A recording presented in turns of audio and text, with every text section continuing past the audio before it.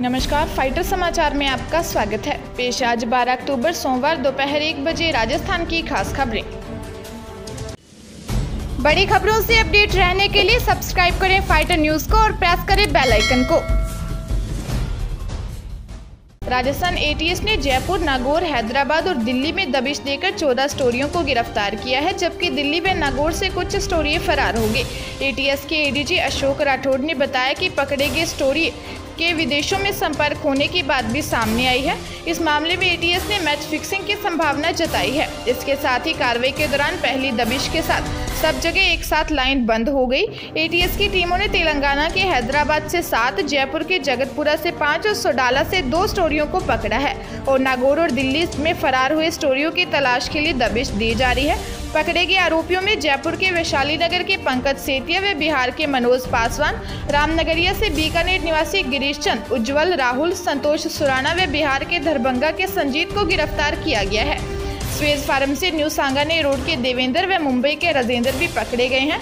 इनके कब्जे से कई लैपटॉप व मोबाइल फ़ोन सहित इलेक्ट्रॉनिक उपकरण बरामद हुए हैं।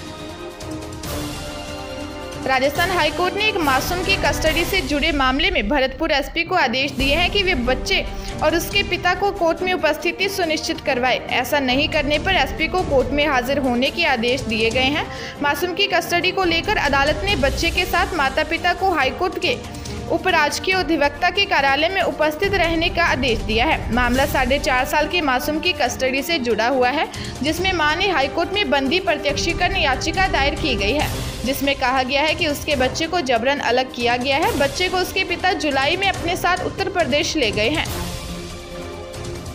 श्रीगंगानगर ज़िले के सूरतगढ़ में ओवरलोड वाहनों पर प्रशासन और परिवहन विभाग ने संयुक्त कार्रवाई करते हुए एसडीएम के निर्देश पर हाईवे पर ओवरलोड ट्रकों के खिलाफ अभियान चलाया। जानकारी के अनुसार इंदिरा सर्किल से पिपेरन के बीच हाईवे पर अल सुबह विभाग ने करीब एक दर्जन बजरे और ग्रिट के ओवरलोड ट्रक पकड़े हैं। विभाग ने इनका चालान किया, वहीं कई ट्रकों को सीज करने की कार्रवाई की गई।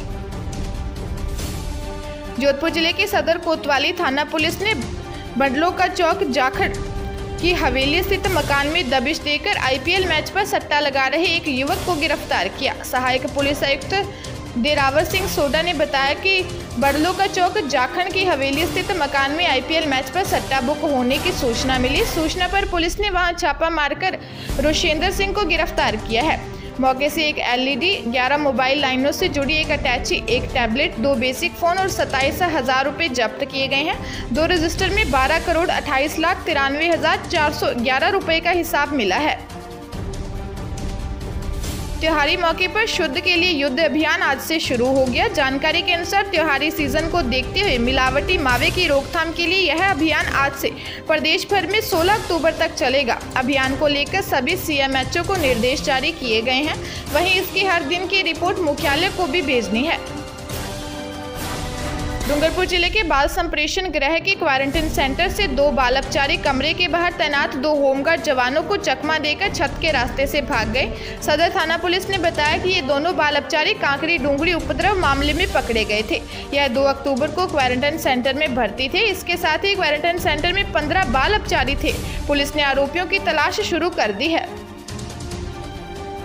उदयपुर ज़िले के गोगुंदा पिंडवाड़ा हाईवे पर बरोड़ा चौकी के एक सड़क हादसा हो गया। सूचना पर गोगुंदा थाना पुलिस और हाईवे पेट्रोलिंग टीम मौके पर पहुँची। पुलिस ने बताया कि अज्ञात ट्रॉले ने सौ से ज़्यादा भीड़ों को कुचल दिया। पुलिस ने गोगुंदा उदयपुर हाईवे पर एक तरफा यातायात करवाकर वाहनों का आवागमन शुरू किया। पुलिस ने ट्रॉले को पकड़ने के लिए नाकाबंदी करवाई है। श्री गंगानगर जिला मुख्यालय पर कचरा बीनने वाली युवती से छेड़छाड़ करने का मामला सामने आया है। पीड़िता की माँ ने तीन लोगों के खिलाफ महिला थाना में मुकदमा दर्ज करवाया है। पुलिस ने बताया कि पीड़िता की माँ ने रिपोर्ट दी है कि तीन युवक युवती को जबरन सुनसान जगह ले गए और युवती के विरोध करने पर युवकों ने उसके साथ मारपीट की। मारपीट के दौरान युवती की एक पसली और हाथ की हड्डी टूट गई। पुलिस ने मामला दर्ज कर जाँच शुरू कर दी है। जोधपुर ज़िले के लोहावट थाना क्षेत्र के राजाला गाँव में कलयुगी पत्नी की शर्मनाक करतूत सामने आई है।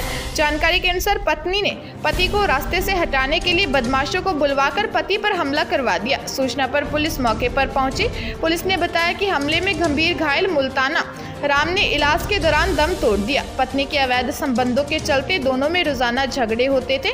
मृतक के भाई ने पत्नी सहित अन्य के खिलाफ मामला दर्ज करवाया है। वहीं पुलिस ने मामला दर्ज कर जाँच शुरू कर दी है। दौसा ज़िले के नांगल के पिपली पातलबास गाँव में अनियंत्रित होकर एक टेंपो पलट गया। हादसे में छह लोग घायल हो गए। सूचना पर पुलिस मौके पर पहुँची। पुलिस ने बताया कि घायलों में तीन बच्चे व तीन महिलाएँ शामिल हैं। पुलिस ने सभी घायलों को जिला अस्पताल में भर्ती करवाया है। यह हादसा खेतों में मूंगफली एकत्रित करने जाते समय हुआ।